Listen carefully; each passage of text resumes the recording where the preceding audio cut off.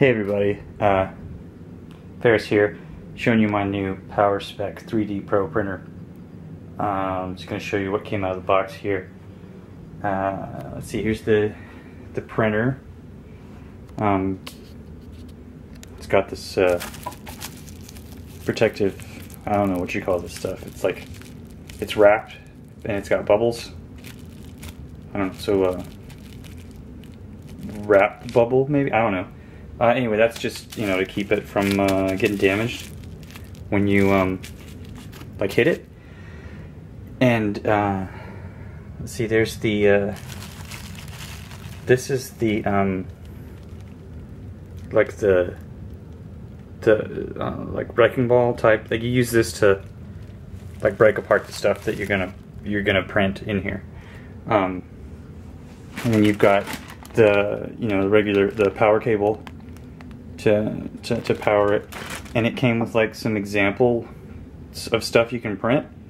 Like, um, like you know, a, toilet paper holder.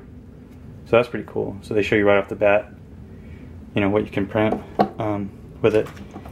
This is for, um, like if you're gonna hook up your cell phone to the printer. I, um, I forgot why you would do that, but these uh, are drinking straws like you know something else you can another sample of what you can print with this stuff. So that's cool that they, they that they include that um, and I'm pretty sure this has like games on it or something.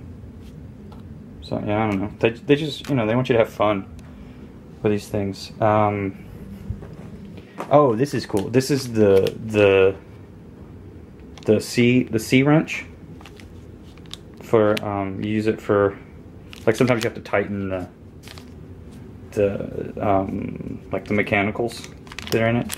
So that's you know that's really handy. These are um, magnets.